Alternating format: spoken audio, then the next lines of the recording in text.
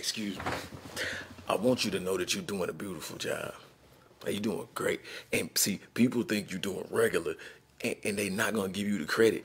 But I know you're doing great, and you need to be told that. Cause there's a lot of situations that you've handled yourself amazingly in when you should have smacked the shit out somebody. Yeah. And, and it might be somebody, you might be sitting around a motherfucker right now, need smacked out of him. And you are holding your composure the way Bruce Banner don't turn into the Hulk when he know he need to. And you should be, you should be awarded. You need a Medal of Valor. You, you need to be held on the throne high regularly, maybe so that you can't be around shit smackable people. But more importantly, just so that you can know that you're doing phenomenal. Stay in there, baby. The game is a long one, but you got to hold it down.